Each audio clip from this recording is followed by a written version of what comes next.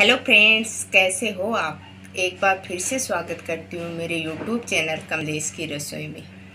तो दोस्तों, आज हम बनाने वाले हैं कमलेश की रसोई में सूजी या रवा के लड्डू, जो बिना चाशनी के बनाएँगे। एक चम्मच घी में बहुत ही आसानी से बन जाते हैं और खाने में भी बहुत ज़्यादा टेस्टी होते हैं।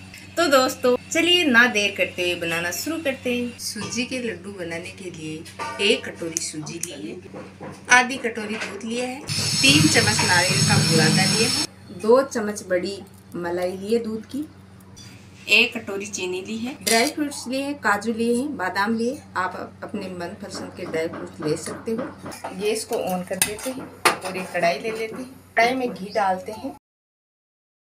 एक चम्मच घी को गर्म होने देते हैं। घी हमारा गर्म हो चुका है। अब ये सूजी दिए ये डाल देते हैं और अच्छे से, कम आँच पे अच्छे से इसको भून लेते हैं।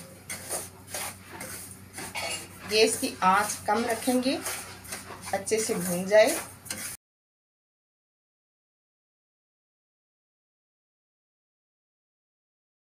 सूजी हमारी भून चुकी है अच्छे से। लो आँच पर ही इसको भूनिए। अब ये नारियल का बुरादा लिया, ये डाल देते हैं। इससे हमारे लड्डू में बहुत अच्छा टेस्ट आएगा।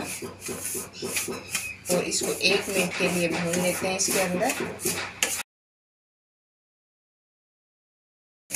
गैस की आँच कम ही रखेंगे। एक मिनट हो चुकी है। अब क्या करेंगे, ये दूध की मलाई ली है, ये डाल देते हैं। इसके अंदर ये बिल्कुल मावे का ही काम करेगी। यदि आप नहीं डालो तो घी ज़्यादा डाल सकते हो। मलाई बिल्कुल ताज़ा होनी चाहिए। इसको एक मिनट के लिए भून लेते हैं।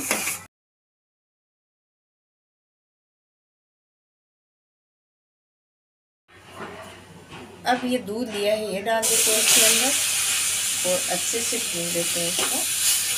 मिक्स कर देंगे इसको, क्योंकि चाट में बगैर नहीं बना रही हैं।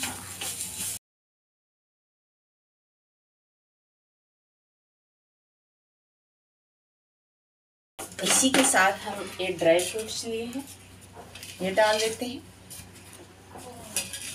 आप इसको घी में फ्राई करके भी डाल सकते हो।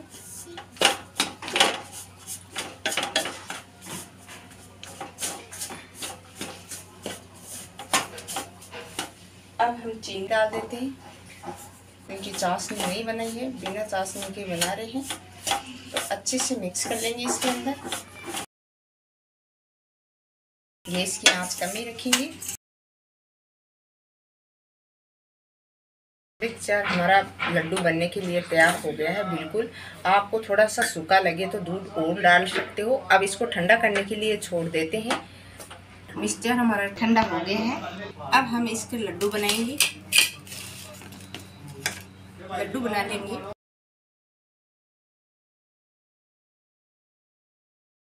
ये देखो, आसानी से बन रहे हैं इसके लड्डू।